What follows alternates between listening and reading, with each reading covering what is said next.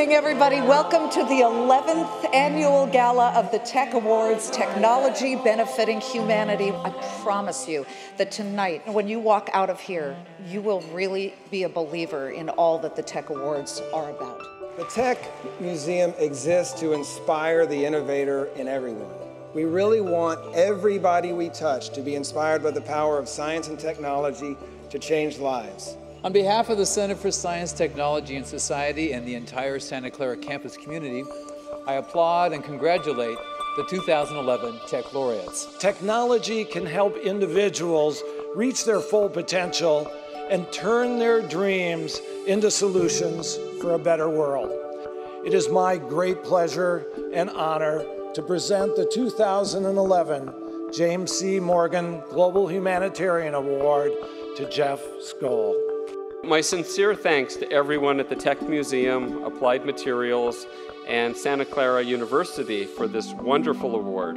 The future itself can indeed be an elusive concept, especially when you realize how little time each of us have.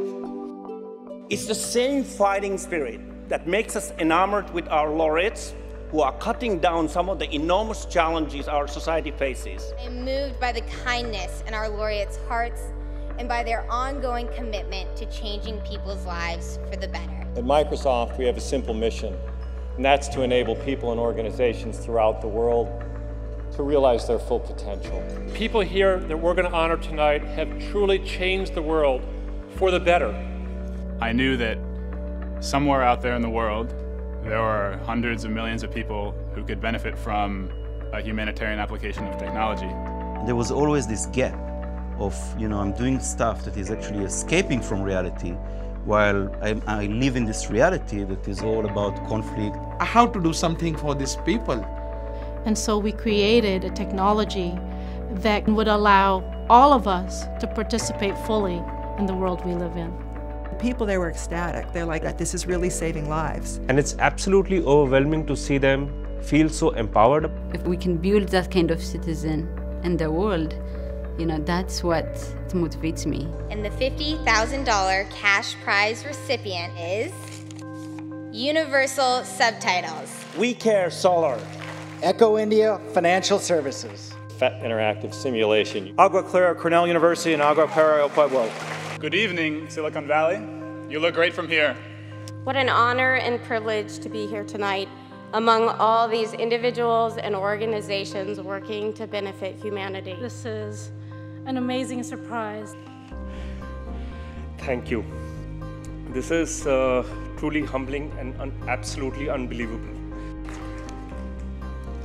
I have to start close. I don't know I'm going to be able to talk.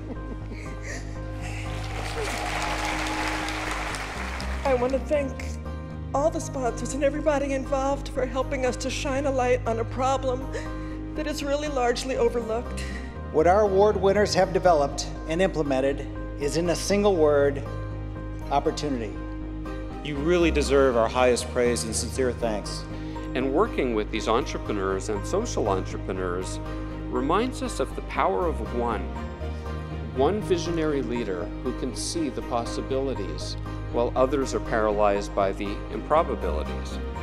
And each year, Tech Laureates become part of a community where rich collaboration and opportunities abound power of one, or even the power of many, often won't do.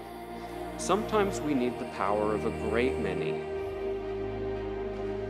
Silicon Valley, the world is always waiting to hear from you. Let's make our work count for goodness.